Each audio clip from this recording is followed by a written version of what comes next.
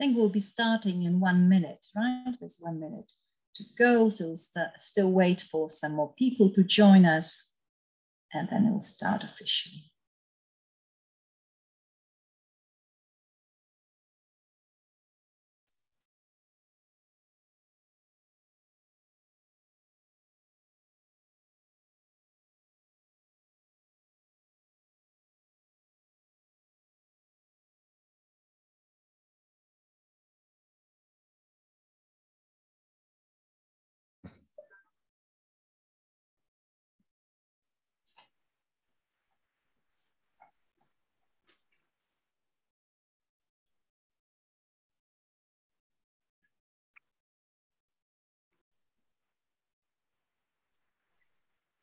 Well, it's um, five o'clock our time. So good afternoon, everybody, or good morning, depending on the time zone.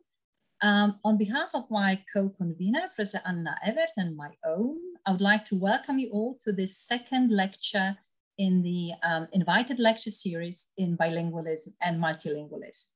The series is organized jointly by the Institute for Advanced Studies in Social Studies and Humanities the Faculty of English at Adam Mickiewicz University, and the Poznan branch of Bilingualism Matters.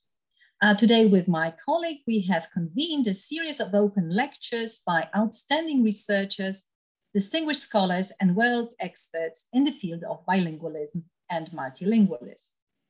And today it is our great honor and privilege to welcome Professor Judith Kroll from the University of California, Irvine, who will, be who will deliver the second lecture in this series on two sides of bilingualism, a lens to the cognitive neuroscience of language and a reflection of our social world.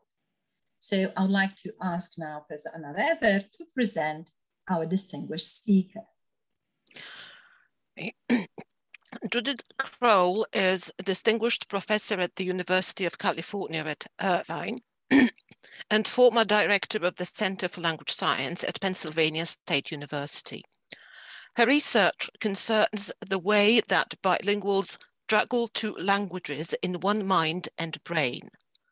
Her work, uh, supported by numerous grants from the NSF, the National Science Foundation, and the National Institutes of Health, shows that bilingualism provides a unique tool for revealing the interplay between language and cognition. She is a fellow of the American Academy of Arts and Sciences, as well as numerous psychological societies, um, such as the American Psychological Association, the Association for Psychological Science, the Psychonomic Society, and the Society for Experimental Psychologists. She was one of the founding editors of the journal Bilingualism, Language and Cognition, published by Cambridge University Press, and one of the founding organizers of Women in Cognitive Science, a group developed to promote the advancement of women in the cognitive sciences. With Penn State colleagues, she was the PI, the principal investigator and collaborator on two NSF partnerships for international research and education grants to develop an international research network and program of training to enable language scientists at all level to pursue research on bilingualism as well as to translate the cognitive and brain science of bilingualism to language learning environments. So this is the introduction. Uh, Professor Kroll, it's over to you. To share my screen. Many, many thanks for inviting me to give this talk today. I'm very excited to be here and look forward to all of you who are students in the audience and who will meet with me later today uh, to having discussion with you. I'm going to ask that you hold questions of interpretation to later discussion, um, but feel free to interrupt me uh, if there are questions of clarification. Um, Okay, and just a very quick acknowledgement. I have many, many people to whom I am very grateful and indebted for being able to carry out this research over a very long period of time and working within an amazing collaborative community. Uh, as, as Anna mentioned, that we have had this support from the National Science Foundation for uh, developing an international network for research on bilingualism. And this is amazing opportunities for collaborative research uh, really across the world. So as uh, all of you know, more people in the world are bilingual than not. Um, but until recently, most research on language and cognition focused on monolingual speakers, and bilinguals were considered to be special, and I have special in quotes. Um, what is special about bilingualism? I'm going to try to touch on three different perspectives today.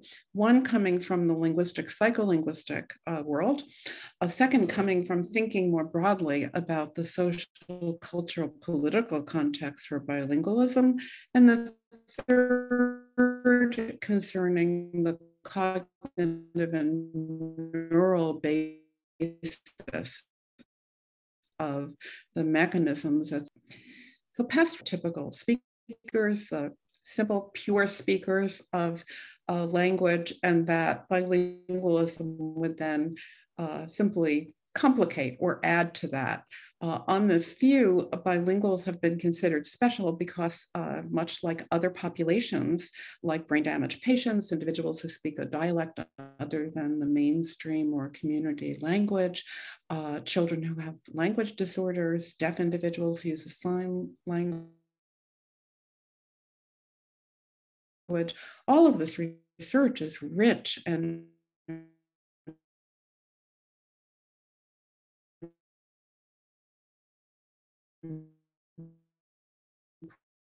important for a language.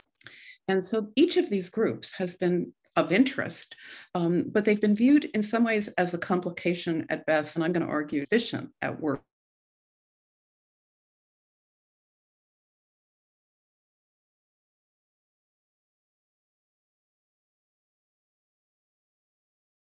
First. And so there's been a very much a deficit model uh, we have had to counter in this research.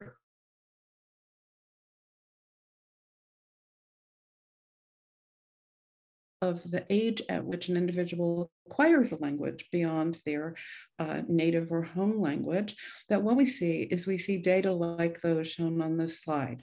So the data on the left are uh, very well-known data from Jim Flege's group on accentedness. The data on the right are very well-known data from Johnson and Newport on grammaticality judgments. And what we have on the x-axis in each case is the age at which individuals were exposed, in this case to English. And what we have on the y-axis in the on the left graph, the Flege data, we have how accented their speech is perceived to be. And what we see is that the older a person was at the time that they arrived, in this case in Canada in this study, um, the more accented their speech was perceived to be in English. What we see on the right is we see something very similar for judgments of grammaticality, that individuals who arrive past early childhood often make errors in judging whether or not a sentence in English is grammatical or not. And so this view is that we have, there's a constraint that if you acquire a second or third or fourth language after early childhood, that you are not doing that in the same way that individuals acquire their first language, and that the second language is essentially um, supported by domain general cognitive processes, but linguistically constrained. And that's been the sort of traditional classic story. And so my picture here, which is just a little spoof on um, thinking about uh, this, this uh, stereotype or claim that's been made is that you have a speaker who's speaking the L2, but in a very messy brain, whereas you have the person speaking their L1, which is very neat and simple and straightforward. So this perspective, um, which I'm going to claim is has been until recently a traditional perspective, is that late bilinguals are indeed special with this mixed language system that includes a perfectly beautiful native language that is stable over life, uh, and what I'm going to call in a very non-technical way a funky L2, something that's really a bit messy. Um, on this view, you would expect that bilinguals should be functionally monolingual in their native language. And we should also expect that the native language is going to transfer to the second language in learning. And in fact, we have a very long tradition of um, studies that show that that's indeed the case. Um, but you would not expect much transfer in the other direction. You wouldn't expect that the second language would come to affect the first language because the first language is hypothesized to be stable. Now, switching for a moment from the linguistic perspective to the outside world and the political world, and from a US perspective, um, I want to talk for just a moment and, and point out that this idea that bilingualism may be special or problematic is not just a psycholinguistic problem. Um, these are data from a report that was published in 2017 by the American Academy of Arts and Sciences on really the state of language learning in the, in the US in the 21st century. And what you have here is a chart that shows the percentage of individuals in the US, age five and older, um, who speak English only, and the percentage of individuals who speak a language at home other than English. And what you can see is that almost 80% of the US speaks English only. So monolingualism is overwhelmingly the norm. And in a study that um, and Luck uh, uh, performed in 2019, they tried to investigate just how deeply this English only, English as a norm uh, was really ingrained in uh, individuals in the US. This is a picture of the US, a map of the US, and what you see is this very blue country. And that blue um, is not political from the perspective of Democrat and Republican, very sadly, but that blue is uh, indication of how much of the country is really functionally English only. If you look at the scale, you see that that blue means zero to 9% non-English at home. So the blue means these are, these are places where individuals in the US essentially are monolingually English speakers. And what you see is around the rim of the country, you see a more colorful situation, a more linguistically diverse situation, and one where uh, you have a much higher percentage of uh, a non-English language at home. And those uh, fuchsia and green uh, marks in the middle of the map are places where they surveyed people and they said, how socially valuable do you think bilingualism is? And of course, what they found is that people who lived in places that was were bilingual thought that bilingualism was very important. People who lived in places that were functionally monolingual did not think bilingualism was important at all. Now, what we know from a research perspective is that in the last, and this is really more than a decade ago, on the 125th anniversary of the journal Science, um, the biological basis of second language learning was identified as one of the top 125 questions to be answered in the next 25 years of science in all of science. Um, we're, we're now getting close to that uh, point. I'm not quite sure we will have uh, solved the problem perfectly, but what we have seen is a tremendous upsurge of research on bilingualism and a tremendous upsurge of research on the neurological, biological basis of uh, bilingualism, what's happening in bilingual brains. This is just a bit of data from Web of Science showing this explosion of research on bilingualism in this period between 1993 and 2012. And if we were to continue for the next nine years, we'd see even a, even a greater uh, increase. So the point is that the language and learning sciences have come to see that bilingualism is of interest in its own right. And it's interesting in terms of thinking about and understanding the politics of where we live. But there's also a new attitude to see that bilingualism is a lens, it's a tool for revealing the workings of language, the mind, and the brain. Now, this lens has only very recently opened to the social world it has been focused for quite a long time on the issue of what happens in the mind, what happens in the brain, how is learning affected by language. Um, but very recently, and of course, those of you who are sociolinguists have been focused on this question for a very long time, but it's only very recent that psycholinguistics cognitive neuroscience has begun to take seriously the idea that we are social humans and we live in a context where we need to understand how the social context, how the environment interacts with uh, cognition and, and uh, brain processing. So, what have we learned in this period of time? We've learned that being bilingual changes the architecture of your brain.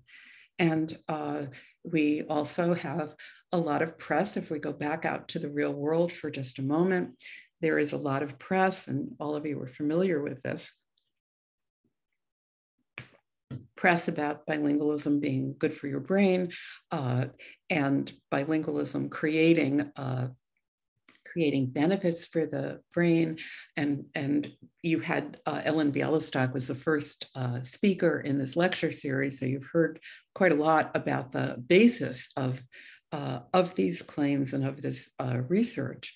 Um, however there's also been quite a lot of uh, what I would call controversy rather than debate. Uh, controversy in the sense that there are people who think that all of these uh, consequences of bilingualism are really overstated. And if you think for a moment and you stop for a moment and think of that blue map in the United States that I showed you, um, you might say, well, it's not that surprising. If we live in a context where um, both scientists and the general public think that in the US at least, that English only is perfectly acceptable and, and perhaps uh, the ideal, um, it's not going to be that surprising that you might be that critical of whether bilingualism uh, creates improvements uh, for uh, the mind and the brain. And um, I want to ask today, in what I'm going to talk about, why there's been this controversy and how we might begin to think about what are the right questions to ask.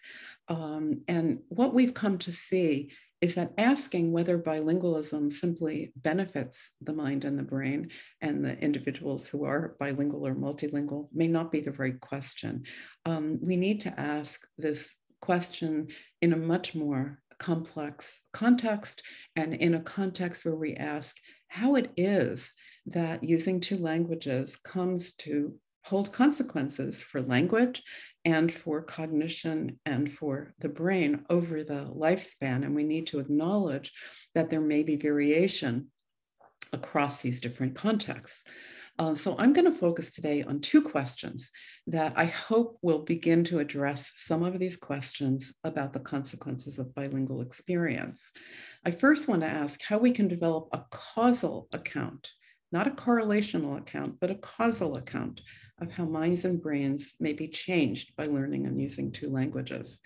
And I'm going to argue that if you want to understand the consequences of bilingualism, we need to look at language itself. And bilingualism is about language.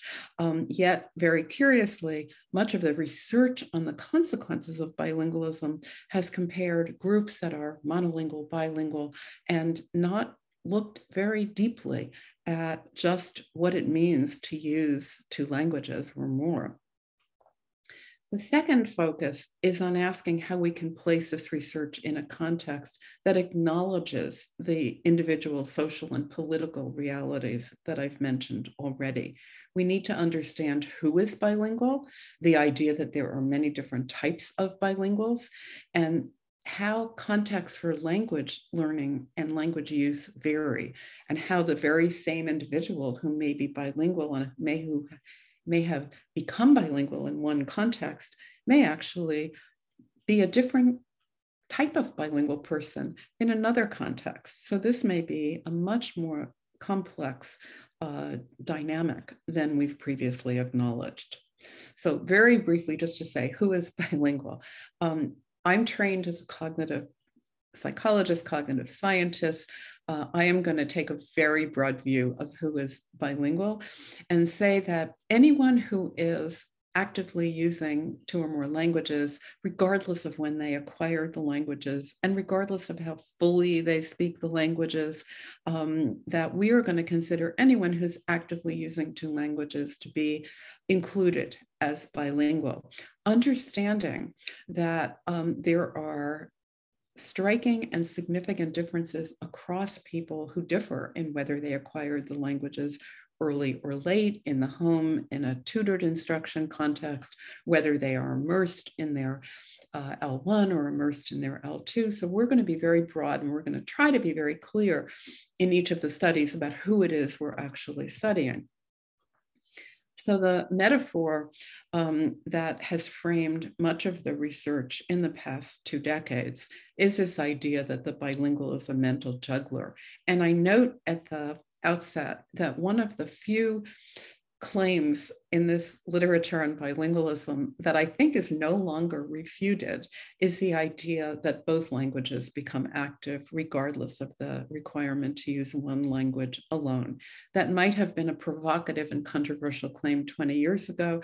Uh, there are now hundreds of studies um, that look at the lexicon, look at grammar, look at phonology, look at different types of languages. And what we see is we see this parallel activation of the two languages. My little example here is a Dutch example. Um, I had the wonderful opportunity to live in the Netherlands twice in my life uh, and to have experience of both doing research in the Netherlands and of uh, beginning to really understand how being in a context where people are multilingual may affect uh, their mind and brain. This is an example just of a Dutch speaker naming what is one of the most common objects in the Netherlands, picture of bicycle. And the idea here is simply that if you are bilingual or multilingual, you have many ways that you can name the very same object.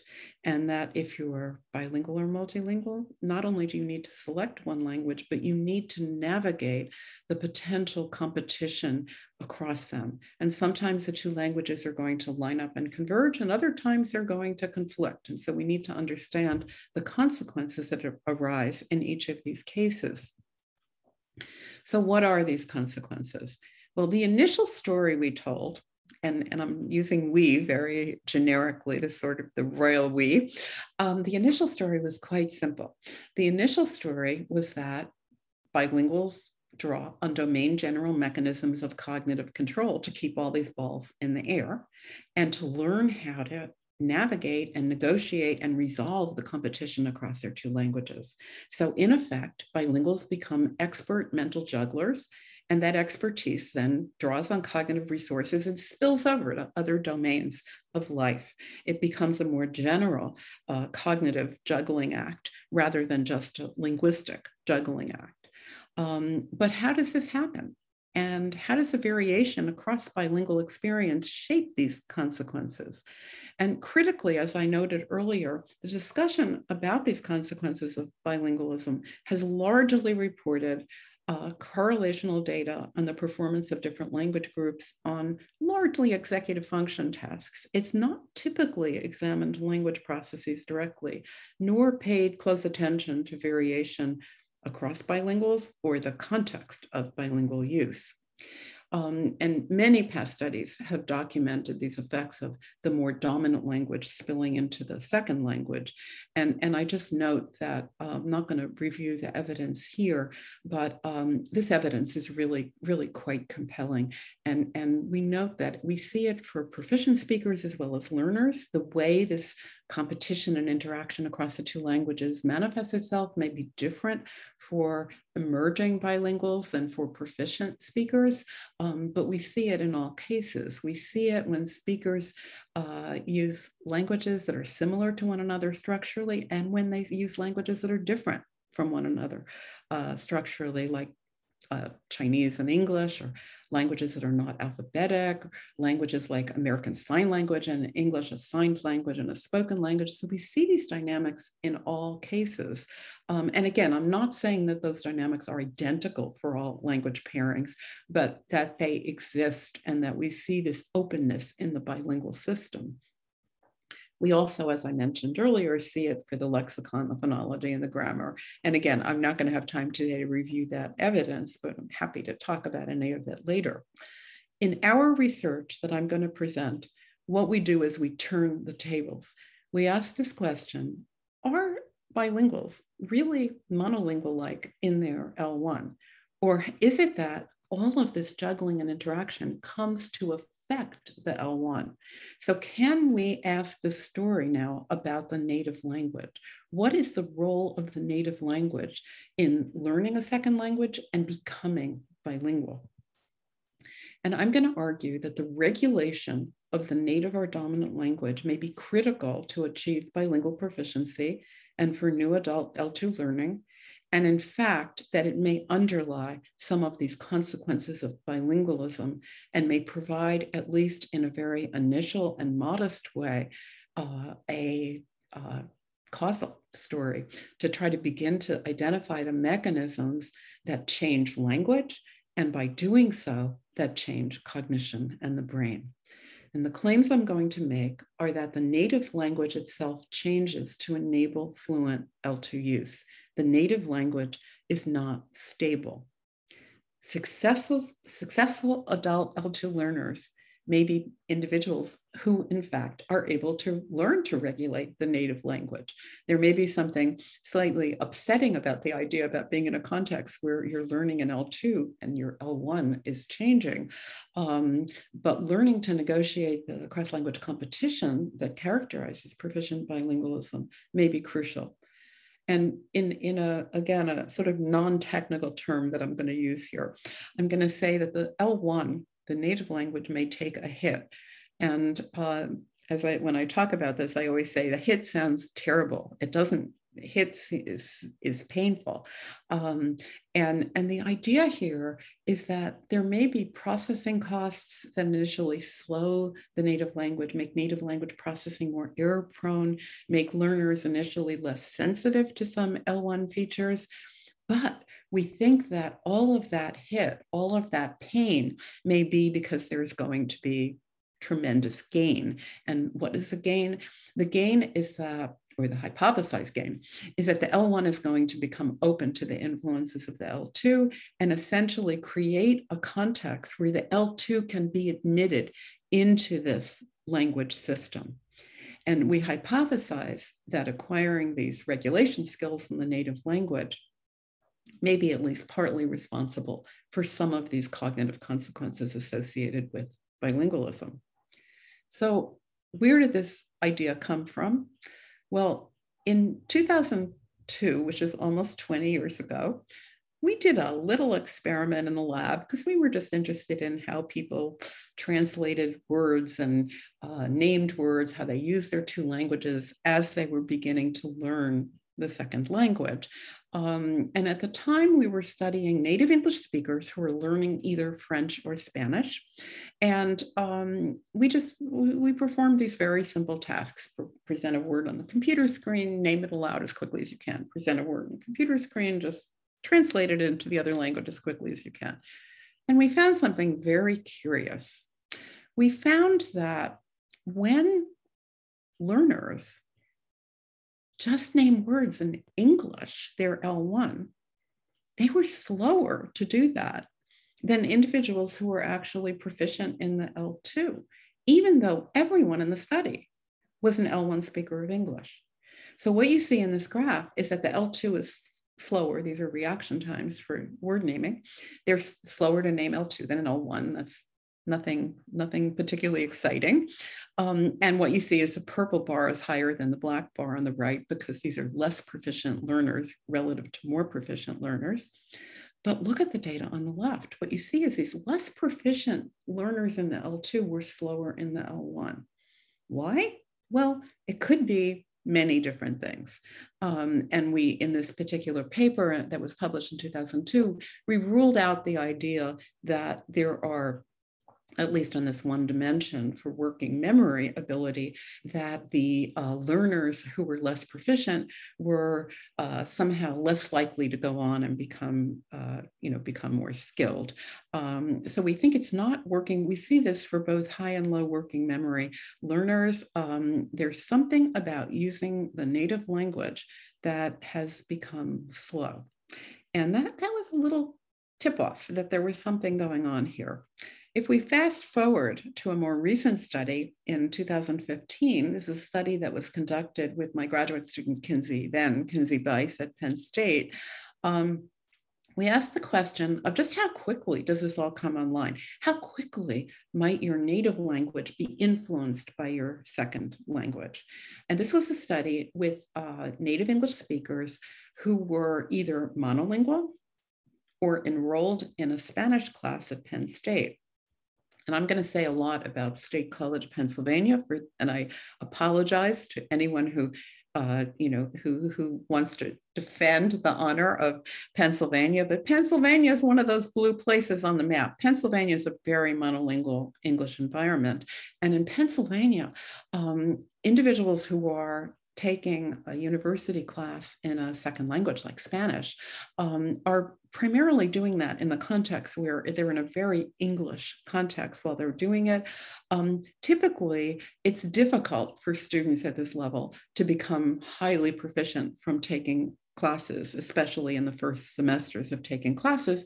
And so what we did is we looked at monolingual speakers of English who are not studying Spanish. We looked at learners in the very first term they were studying Spanish, and we looked at individuals who were slightly more advanced in more intermediate in Spanish, but they were not proficient Spanish speakers. And what we did is we performed a very simple psycholinguistic task, lexical decision in English. It's a lexical task. We show you a word, and this is in English, they're L1. We show you a word and we say, is this word a real word in English, a string of letters. And if you see tomato, you'd press the yes button. Book, you'd press the yes button. If I show you a non word, you'd press the no button. And the twist in this experiment is that some of the words were cognates with Spanish. So the ideas of tomato and tomate um, are cognate pairs, whereas book and libro are very different from one another.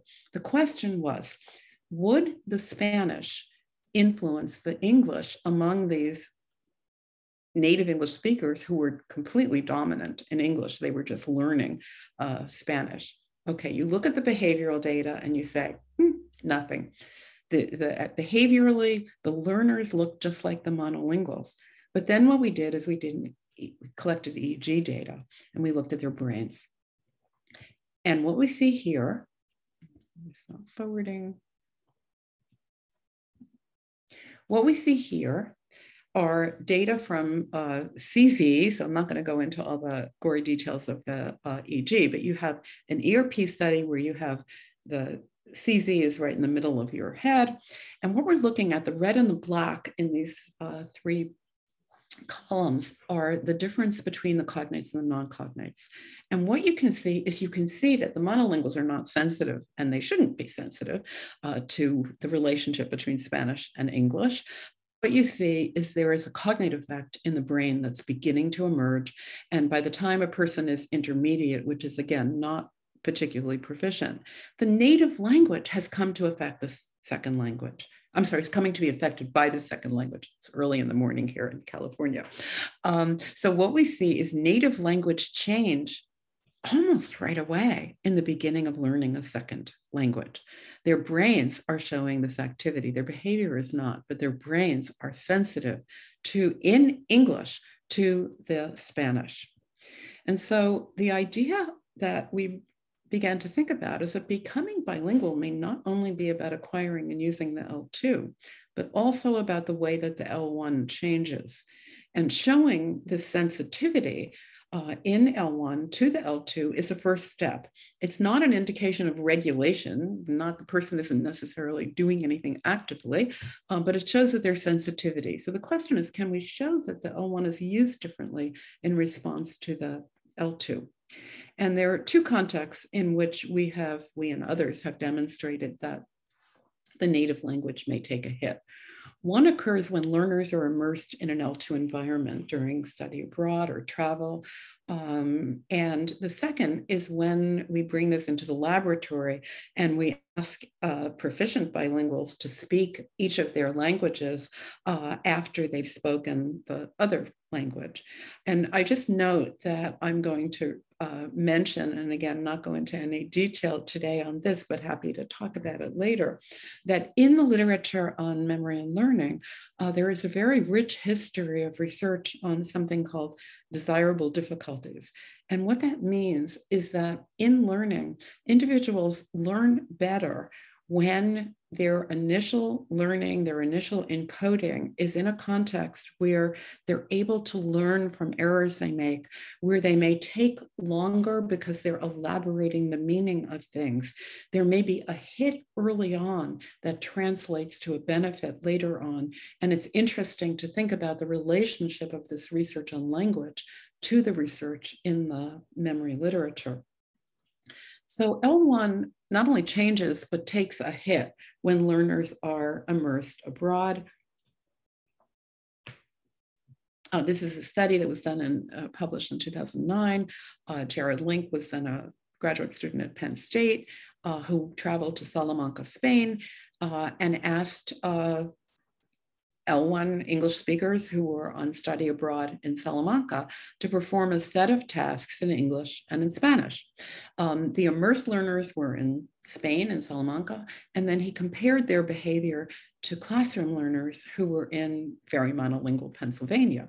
And the main result in this study was that the L1 appeared to be suppressed when learners were immersed in an L2 environment. And one uh, one task that we used, there were many, but this, this is uh, just an illustration of what happened in the study.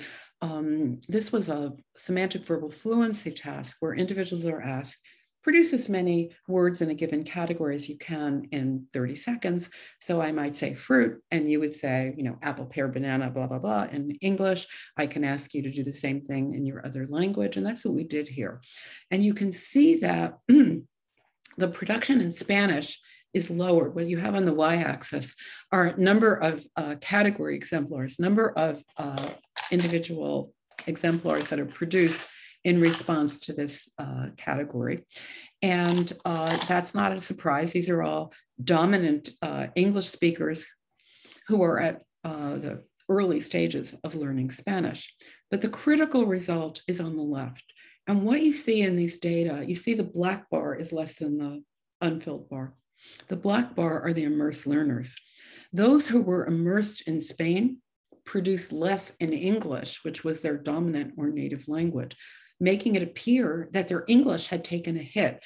And in fact, one of the things that's interesting is that we often don't want to trust phenomenology but people have quite rich phenomenology about how it feels like they lose access to their native language when they're in an immersed context in another language. So other uh, evidence comes from the laboratory where we can take this kind of phenomenon and we can basically demonstrate something very simple and uh, similar. Um, so in, there now have been many, many experiments that have been performed uh, and reported on language switching and language mixing. Uh, essentially, you produce either in your L1 or your L2 in response to a cue. The data on the left are from a very very well-known study by Meuter and Allport in 1999, um, looking at language switching. Um, the data on the right are from a study that we did in the Netherlands in 2000 with Dutch English bilinguals. And the basic story here is the same in all cases. What you see is that there's a cost to mixing or switching languages, but that cost is greater for the L1 than for the L2. The hypothesis is that the L1 has to be inhibited to be able to speak the weaker L2. Speech planning for the weaker language requires some control of the stronger language, and that these costs that we see are hypothesized to reflect uh, that process. Um, we can illustrate that um, using both behavior and using other uh, methods. This is a study that used uh, EEG. Uh, I'll note that we've also done this using um, using uh, acoustic measures of spoken uh, speech. Um, what we have here is a study where we did switching in by blocks. So these are were a group of Mandarin English speakers. They either spoke their L1 in response to a set of pictures. They named a set of pictures in their L1, which was Mandarin, or they named the pictures in L2, which was English. And the only uh, the only manipulation in the experiment was whether they did L1 first and then L2, or L2 first and then L1. We varied the order of speaking. And what you can see in the slide is you can see that the pictures are the same pictures. We just, they named them in each language, but the same pictures. And so what would you predict? You predict that if I repeat the same thing twice, well, you should, you should observe repetition priming. You should be facilitated by virtue of that repetition. Um, and so the question we ask is, would we see that kind of facilitation uh, in, in the evidence for naming in L2 and for the evidence for naming in L1? And this is again just a little snippet of uh, ERP data looking at uh, CZ, again, the same uh, electrode. And um, here's the critical result. If you look on the right at L2 and you look at the difference between the red and the blue, the red is when you name the L2 benefiting from repetition. You've already named these pictures in L1. And what you see is reduced negativity. Repetition helps you when you're speaking the L2. If you look at the data on the left for L1, you see the opposite. What you see is that the red is now higher than the blue. What you see is increased negativity. And remember, these are the same pictures that are being presented. So they've seen these before. And so what we show is an inhibitory pattern for L1 and a facilitatory pattern for L2. Um, we ask the question, is it a matter of just if you're you're showing this inhibition when you speak your L1 after speaking your L2. Well, what if you get to speak your L1 for a while? Do you recover? And in the context of this experiment, people did not recover. Um, they presumably eventually recover in real life, but this, this uh, inhibition is quite persistent. We've done this with uh, fMRI and find exactly the same kind of thing. We find it's the L1 that's really affected when you have these switches between languages.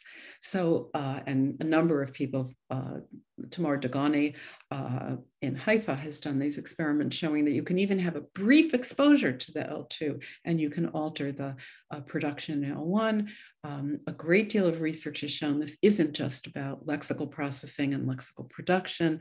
Uh, research by Giuli Dussias on the effects of L2 and L1 on the grammar, and by Charles Chang on the phonetics show that there are persistent effects of the second language on the native language. Is it attrition? Some people have said, oh, this looks a lot like attrition. You're losing something. Um, and we and others uh, have argued that no, this is not attrition. These are the ordinary dynamics of being bilingual. The two languages are active, and the directionality of of that activity is such that we see bidirectional interactions and dynamics. It's not just from the L1 to the L2, it's in both directions. Where else do we see this inhibition of the L1 or absence of it? Well, I just mentioned this. This is speculation on my part, but there are fascinating data showing that uh, we know that, and, and all of you heard Ellen Bialystok's talk in this series, um, where you know one of the most provocative claims about the consequences of bilingualism is that it appears to uh, provide a set of protections against the symptoms of dementia. And what we know is that bilinguals with dementia are diagnosed about four to five years later than monolinguals. But what if we ask about their language? And there's some, you know, there, there's a little bit of data on this and not enough to come to firm conclusions, but there's a sense in some of the data that bilinguals at the point where they are actually diagnosed as being demented lose their L2 they cannot speak the L2. Well, some people think that might be because it's a semantic deficit for the L2. We speculate that this may be another illustration that L2 uh, fluency is achieved at a cost to the L1. If you're at a point where you are demented and no longer can inhibit your L1, no longer can regulate your native language, you may not be able to speak the second language. And this is a hypothesis that requires much additional uh, empirical investigation. So the claim that I'm making is that the native language is not the Rock of Gibraltar. The L2 has persistent effects on the L1 uh, for learners and for highly proficient bilinguals. Uh, these cross-language interactions, these dynamics come to change the native language as well as the second language. And we know from the neuroimaging literature from the MRI studies that they come to sit largely in the same place in the brain. Um, so one of the implications, and we can return to this in discussion, but one of the implications is that this monolingual native speaker model that we began with when we looked at these constraints on L2 learning may not be the goal of adult L2 learning. An L2 learner needs to become a bilingual speaker of the L1, not a monolingual like speaker of the L1. And we need to ask, what does it mean to be a native speaker? Now, as I've said, this hit is not a bad thing. The hit is um, a part of the process of acquiring and becoming skilled in a second language, becoming bilingual. Uh, and the uh, right that the hit has been misinterpreted as being deficit in some studies people say see bilinguals are slower learners are slower and that means it's a bad thing it's dangerous to learn a second language and what we know is that this is very, very far from being a deficit. Um, we also know uh, that proficient bilinguals very rarely make the mistake of speaking the unintended language. So the question then is if both languages are active and we have the dynamics that I've, I've suggested, um, how do bilinguals control what they say? And the claim we're making is they regulate the activation of the native language, and that regulation draws on mechanisms of cognitive control. But we need to ask this question in a context that goes outside just looking at very simple lexical phenomena in the laboratory. What happens when bilinguals interact with one another? Well, we can ask, and I want to want to in this very final part of my talk, try to uh, very briefly identify a set of contexts. It's not going to be an exhaustive list of the contexts that in which languages are used that might affect regulation and coordination of these cognitive resources. One of them is code switching. Bilinguals often switch with one another in the middle of a sentence. Um, the code switching is being extensively uh, investigated by uh, many different laboratories and at many different levels of, of uh, processing. Um, a second uh, a second factor that's very important are what I'm going to call social networks and language decision making. We don't live alone in the laboratory, although during the pandemic it may feel like we're living alone um, at our desks. Um, but the truth is that in, in uh, real life, pre and hopefully post pandemic life, uh, we live and work in social networks and we are continually making decisions about with whom can I speak which language, who is bilingual, and whether people speak the same languages that you do. To think about that. We've mentioned immersion and we've mentioned the idea that. Um, you know that that there may be changes in the uh, immersed environment um, but we also need to think about linguistic diversity in that blue map if i just go back to that one more time that that blue map well there are parts of the united states that are very linguistically diverse including where i live now in southern california um, and so it may be that we are influenced by the diversity of the environments we live in about how many languages and how many different types of speakers we are surrounded by. So I want to very, very briefly just consider how this may really shape the kinds of cognitive and neural processes that I've been talking about. So, how does code switching affect coordination between bilinguals? In the psycholinguistic literature, there's a lot of discussion about models of alignment, the idea that when we look at actual discourse, what we see is that people align to one another. Uh, they entrain to one another. They begin to use the same words and structures uh, as their interlocutors. Um, and what we see in code switching is that bilingual speakers and listeners begin to tune to one another in a way that enables the prediction of code switch speech.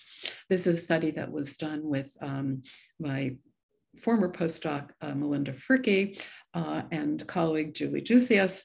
Um, and what we did here is to look at, we did a corpus study looking at code switch speech in uh, Spanish English bilinguals, and then did an eye tracking study using visual world paradigm to ask to what extent are bilinguals sensitive to subtle cues in the speech of their interlocutors to pick up on that cue to think that, oh, even if this is not a consciously that they're even if they're not consciously aware of this cue that something's happening that might predict that a code switch is about to come. And what the study showed is that for Spanish English bilingual, speech rate slows down prior to a code switch. English becomes more Spanish like, and then we look at their performance in visual world and we show that bilingual listeners use this subtle phonetic information to predict an upcoming switch. So the idea, my little tango joke here um, is the idea that you know bilinguals become really be, come to do a linguistic tango with one another. They are aligned with one another in trying to listen to what's going on and who they're speaking with. And we think that this alignment may be an index of bilingual language regulation. There's a fantastic study from Edith Kaan and colleagues at University of Florida showing that code switching and looking at ERP behavior during code switching depends on whether you are in the company of other bilinguals or not. Your brain is sensitive to the company you keep. And so all of this suggests that this is a very social phenomenon. This is something that also is going to give rise to cognitive changes that may not only affect you know the way we typically think about executive function but also how we think about prediction mechanisms which are crucially uh, important. However we know that not all bilinguals code switch.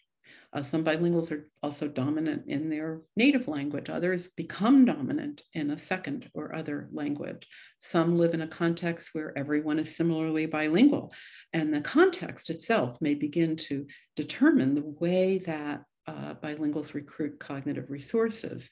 And as Luk and Bialystok have noted, bilingualism is not a categorical variable. We have many, many different types of bilinguals in many different types of environments. And so I want to tell you very briefly about a study that uh, Annie Beatty Martinez was the lead author on. Uh, and uh, this is a study that attempts to illustrate the importance of interactional context in um, bilingual uh, language processing. And this is a study that looked at Spanish English speakers.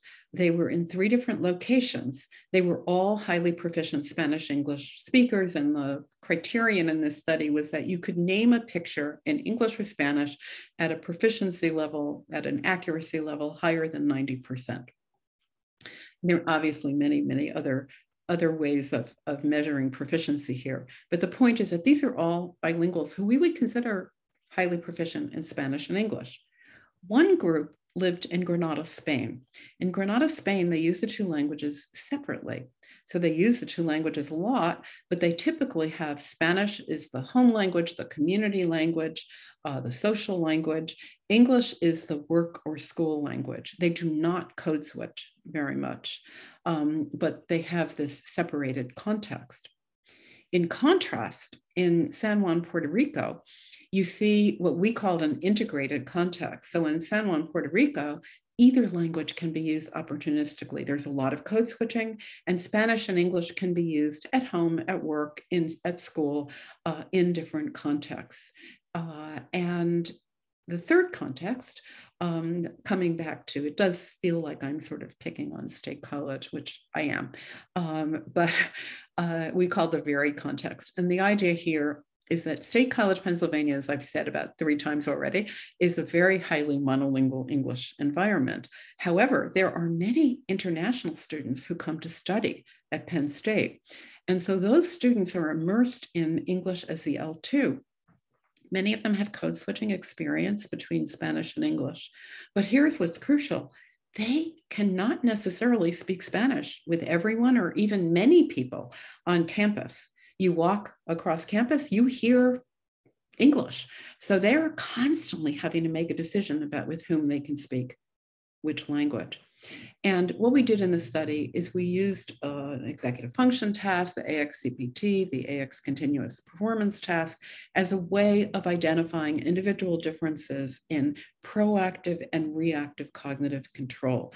And the idea is that these are mechanisms that may reflect coordination and regulation um, of cognitive control during language processing. And we asked a very simple question.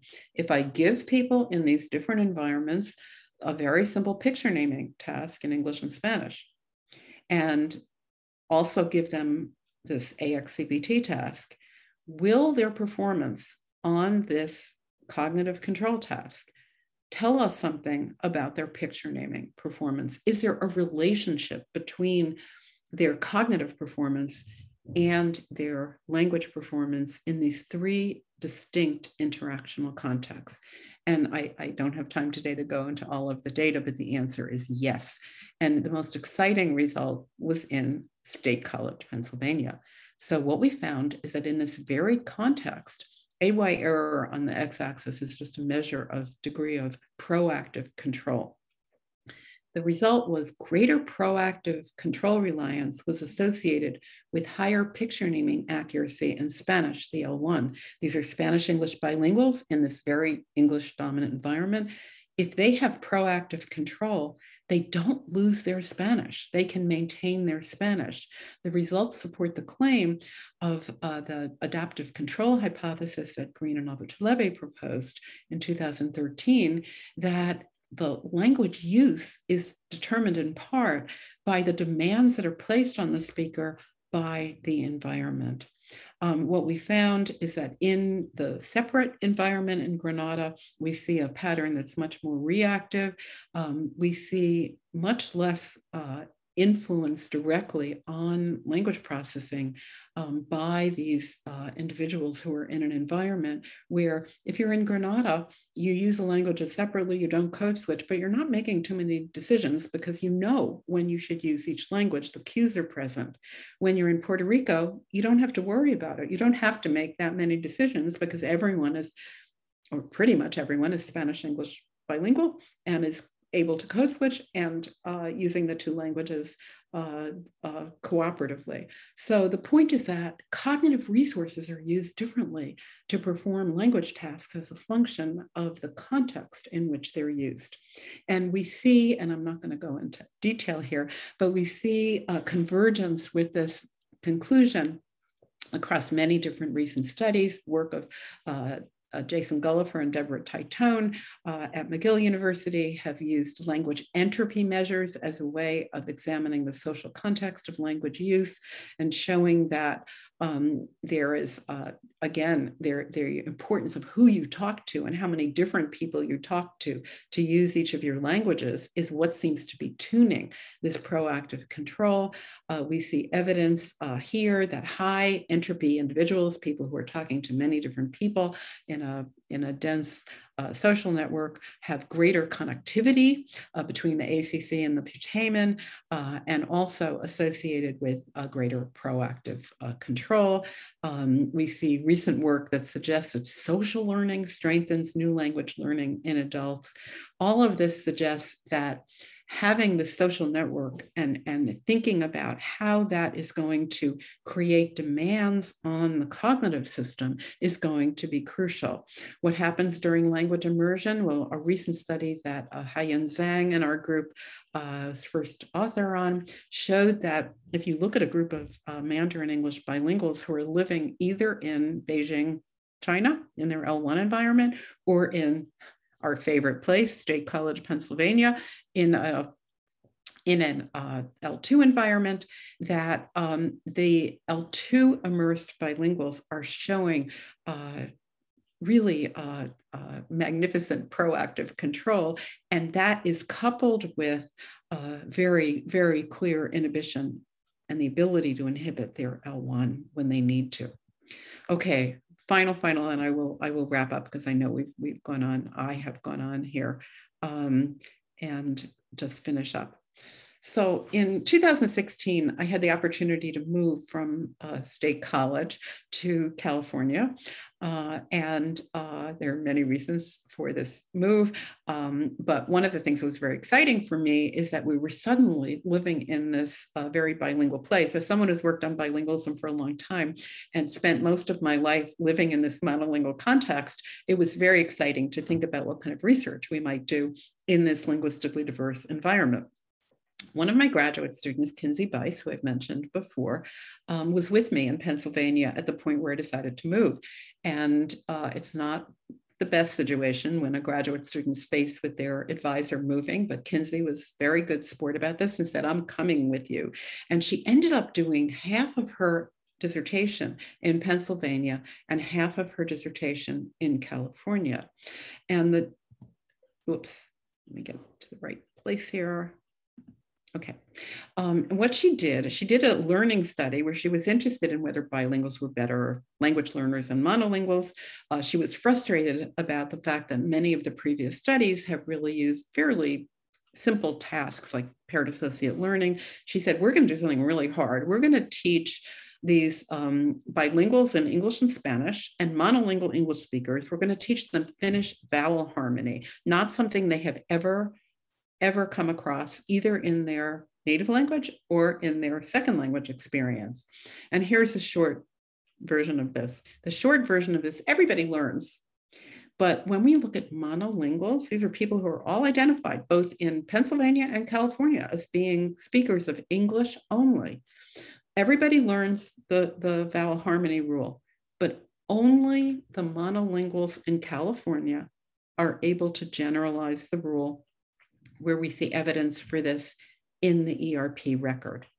So this was a serendipitous result. We want to be very cautious about how far we go in uh, drawing conclusions. But the very exciting possibility is that monolingual brains in linguistically diverse places may benefit, may be more bilingual like, because that diversity of language experience may again tune the brain to be more open to speech in ways that we don't see in monolingual environments like central Pennsylvania. And obviously, a great deal of research is going to have to be launched now to ask this question, and hopefully, we'll be able to do this post pandemic. So, how does this all address the controversies about bilingualism?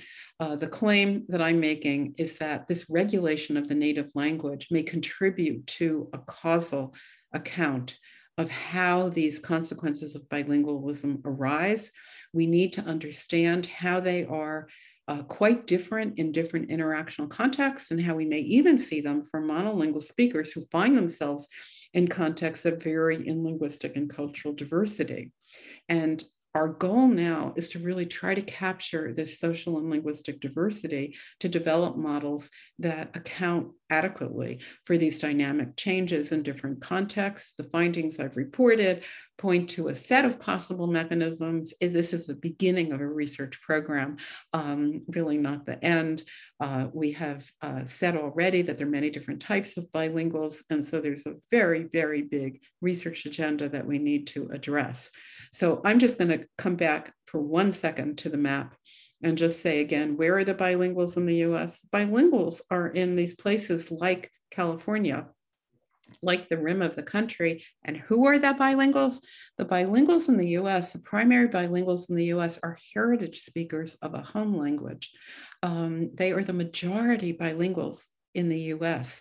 But I note for all of us who are doing research on bilingualism, they are the least studied group of bilinguals in the US. Um, and this is something that really has to change going forward.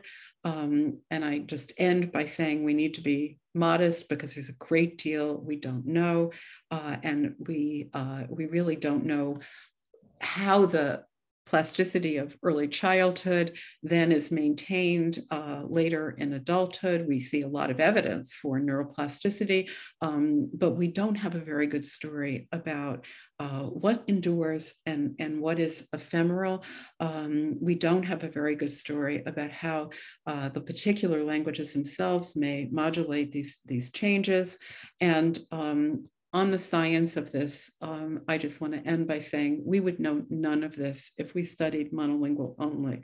Um, these implications are interesting and they pique our curiosity, but they really do truly require a revision of our traditional stories about language development, about cognitive control, and about the plasticity associated with language experience. And I am going to stop there.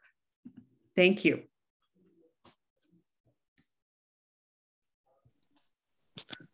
え？っ?